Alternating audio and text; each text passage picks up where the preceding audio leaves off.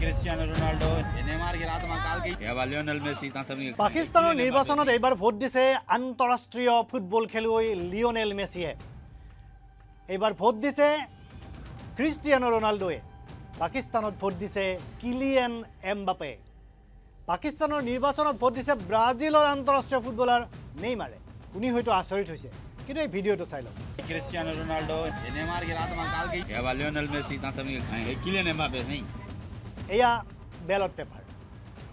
পাকিস্তানত যি নিৰ্বাচন অনুষ্ঠিত হৈছে সেই নিৰ্বাচনত এই বেলট পেপাৰ ব্যৱহাৰ কৰা হৈছিল আৰু এই বেলট পেপাৰত স্পষ্টভাৱে উল্লেখ আছে তাৰ নাম।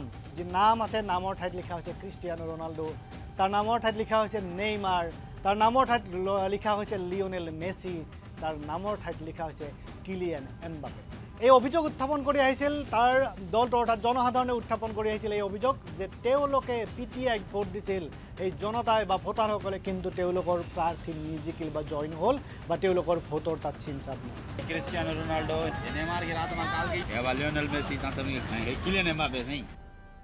পোহৰলৈ আহিছে কেনেধৰণে লাহোৰৰ এটা সমষ্টিত নিৰ্দিষ্ট সংখ্যক ভোটৰ বিপৰীতে অৰ্থাৎ যিমান সংখ্যক ভোটাৰ আছিল তাতকৈ বৈধ ভোটৰ পৰিমাণ অধিক হৈ গ'ল। যিটো এক অবিশ্বাস্য ঘটনা।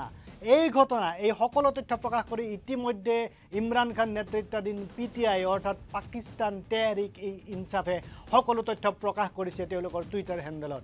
অৰ্থাৎ কেনেধৰণে পাকিস্তানৰ এই সাধাৰণ নিৰ্বাচনক প্ৰশাসনত প্ৰশাসনত পৰিণত কৰি তোলা হৈছে? ভেকো ভাওনা কৰি তোলা হৈছে এই নিৰ্বাচনত এই সকলো তথ্য পি টি আইয়ে ইতিমধ্যে তেওঁলোকৰ টুইটাৰ হেণ্ডেলৰ জৰিয়তে প্ৰকাশ কৰিছে। আনকি প্ৰকাশ কৰিছে এনে চাঞ্চল্যকৰ ভিডিঅ' য'ত ভোট গণনা কেন্দ্ৰৰ পৰা পি টি আইৰ সমৰ্থকক বাহিৰ কৰি দিছে তাৰ সেনা বাহিনীয়ে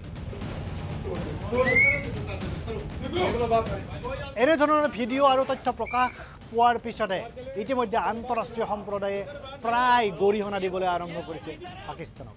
অষ্ট্ৰেলিয়াই কৈছে যে দীৰ্ঘদিন ধৰি যি বন্ধু দেশ সেই বন্ধু দেশৰ পাকিস্তানত নিকা আৰু মুক্ত নিৰ্বাচন বিচাৰে আনকি পি টি আইৰ দৰে এটা দলক নিৰ্বাচনত প্ৰতিদ্বন্দ্বিতা কৰাৰ পৰা নিলগাই ৰাখি পাকিস্তানে যি যি জঘন্য আচৰণৰ পৰিচয় দিছে তাক অষ্ট্ৰেলিয়াই একেমুখে দিছে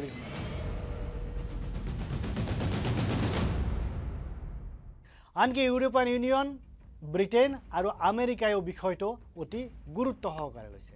কিন্তু পাকিস্তানৰ আঠ ফেব্ৰুৱাৰীত হোৱা যি নিৰ্বাচন সেই নিৰ্বাচনত ঘটিল কি? পাকিস্তানৰ নিৰ্বাচনত ইমৰান খানক প্ৰতিদ্বন্দ্বিতা কৰিবলৈ দিয়া নহ'ল। বিভিন্ন গোচৰত তেওঁক জেলত থোৱা হ'ল কাৰাৰুদ্ধ কৰি ৰখা হ'ল।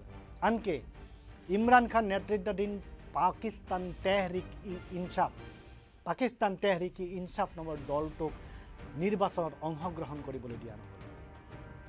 তাৰ পৰিৱৰ্তে পাকিস্তান তেহৰিকি ইনচাফৰ যিসকল নেতা আছিল যিসকল সাংসদ আছিল পূৰ্ব সাংসদ বা নেতা আছিল তেওঁলোকে নিৰ্দলীয় প্ৰাৰ্থী হিচাপে হিচাপে প্ৰতিদ্বন্দ্বিতা কৰে।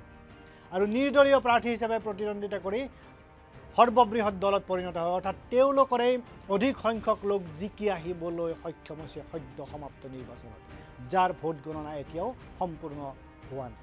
তাৰ বিপৰীতে পাকিস্তানৰ প্ৰাক্তন প্ৰধানমন্ত্ৰী ইমৰান খানে দাবী কৰিছে যে পাকিস্তান তেহৰিক ই ইনচাফ এইবাৰৰ নিৰ্বাচনত জয়ী হৈছে।